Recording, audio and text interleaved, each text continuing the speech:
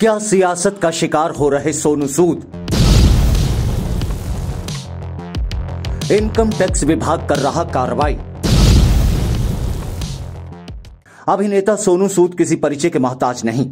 वे अपनी बेहतर अदाकारी के लिए जाने जाते हैं तो वहीं दूसरी ओर उनकी दरिया दिली और लोगों की मदद करने का जज्बा भी किसी से छिपा नहीं।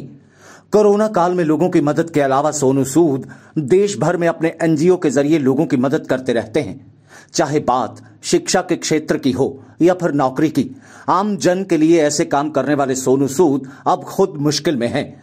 इनकम टैक्स विभाग अपनी कार्रवाई को टैक्स सर्वे का नाम देते हुए उनके घर दफ्तर और होटल सहित कुल छह ठिकानों पर अब तक छापेमारी कर चुका है।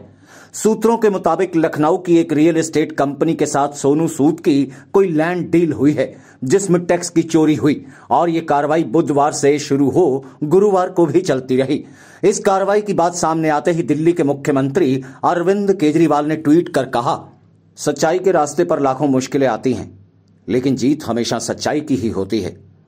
सोनू सूद जी के साथ भारत के उन लाखों परिवारों की दुआएँ हैं, जिन्हें मुश्किल घड़ी में सोनू जी का साथ मिला। इनकम टैक्स विभाग के अधिकारियों ने उनके घर पर मौजूद परिवार वालों से भी पूछताछ की और साथ ही कुछ फाइलें अपने साथ लेकर चले गए। दरअसल इस पूरी कार्रवाई के पीछे अब राजनीति भी होने लगी है। कुछ समय पहले दिल्ली में स्कूली छात्रों से जुड़े एक प्रोग्राम के लिए सोनू सूद को दिल्ली सरकार की ओर से ब्रांड एम्बेसडर बनाया गया था। और उसके बाद ये अटकलें भी तेज हुई थीं कि सोनू सूद आम आदमी पार्टी से जुड़ सकते हैं और ये कार्रवाई उसी के चलते उन पर हो रही है।